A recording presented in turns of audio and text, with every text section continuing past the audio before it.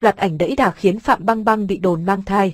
Mới đây, những hình ảnh hậu trường chụp quảng cáo của Phạm Băng Băng được tiết lộ khiến cư dân mạng không khỏi bất ngờ bởi vòng hai của người đẹp lớn hơn thường lệ.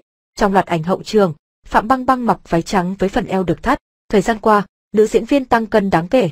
Khi những bức ảnh này được đăng tải trên mạng xã hội, nhiều người hoài nghi cô đang mang bầu.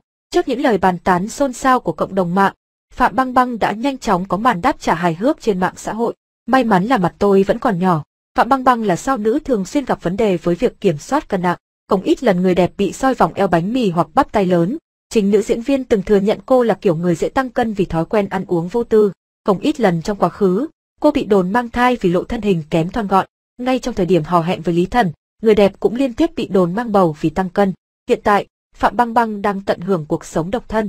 Cô xác nhận chia tay và hủy hôn với Lý Thần vào tháng 6 năm 2019. Không ít lần người đẹp bị đồn hò hẹn với đại gia hoặc mang bầu sau khi chia tay Lý Thần.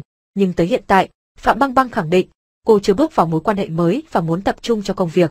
Sau scandal trốn thuế vào năm 2018, sự nghiệp của Phạm Băng Băng bị ảnh hưởng nặng. Hiện tại cô chỉ có thể xuất hiện trong các chương trình nhỏ hay các tạp chí hạng 2.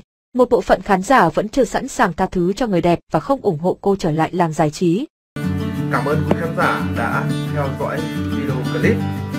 Nếu hay, quý vị hãy uh, chia sẻ và đăng ký kênh để ủng hộ kênh càng ngày càng phát triển. Xin trân trọng cảm ơn quý vị.